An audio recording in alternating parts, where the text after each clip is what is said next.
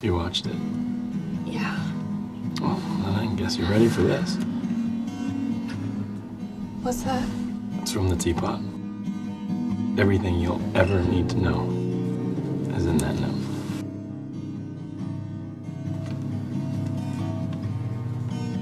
And this is a card. Because Christmas is the time to tell people how you feel. Oh, Not enough for me. You are